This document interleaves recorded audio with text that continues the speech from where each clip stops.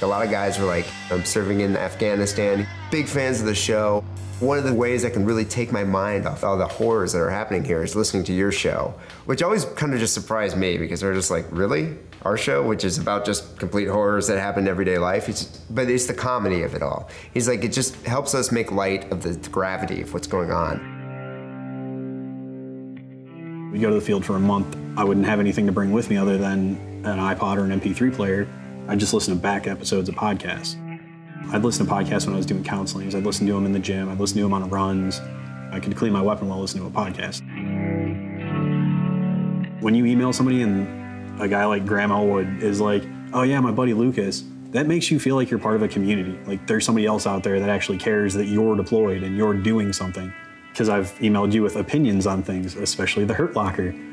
You feel like you're part of that show now. You feel like somebody actually cares about your opinion, whether they agree with it or not.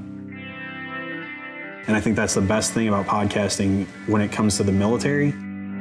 You've got fans all over the world, and we all are part of that community. If something's happening to one of us and you guys talk about it, it's all of a sudden all of our thing. You know, me being in Iraq isn't just me and my family dealing with it. Now all of a sudden, all the Comedy Film Nerds fans can feel some relation to it.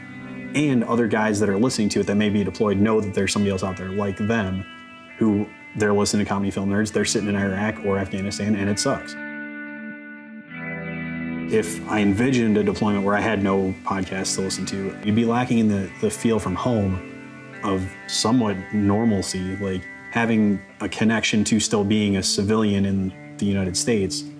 And it was happening from Iraq to California via a podcast with email. That's amazing.